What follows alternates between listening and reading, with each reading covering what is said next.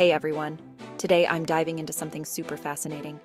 Did you know that Mark Zuckerberg is quietly building a shopping behemoth that's starting to overshadow even Amazon? Yep, that's right. We're talking about Facebook Marketplace.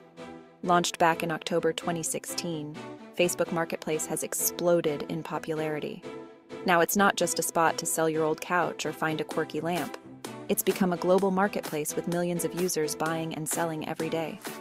Interestingly, it's reported to have four times the customers of Amazon. Just let that sink in. So, what's the secret sauce here? Well, it's all about accessibility and trust. Facebook has leveraged its massive social network to create a space where buying and selling feel more personal. You can see profiles, mutual friends, and even interact directly with sellers or buyers. This isn't just shopping, it's social shopping.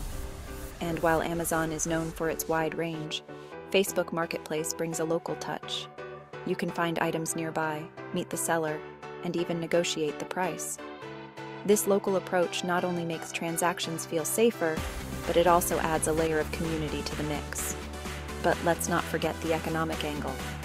For small business owners and entrepreneurs, Facebook Marketplace offers a free platform to reach thousands, if not millions, of potential customers right where they spend a lot of their time on social media. So, is Facebook Marketplace on its way to outshining Amazon? It's hard to say for sure, but one thing is clear it's a powerhouse that's reshaping how we think about buying and selling online. Whether you're an entrepreneur looking to expand your reach or a consumer hunting for unique finds, Facebook Marketplace is a space you can't afford to ignore. That's it for now. If you found this intriguing, hit that like button and subscribe for more insights right here. Catch you in the next one.